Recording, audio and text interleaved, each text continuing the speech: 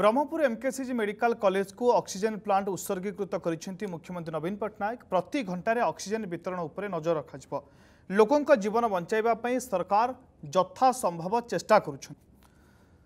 तो Brahmapur MKCG medical college को oxygen plant उत्सर्गीकृत कर मुख्यमंत्री नवीन पट्टनायक प्रति घंटे ऑक्सीजन वितरण उपर रखा नजर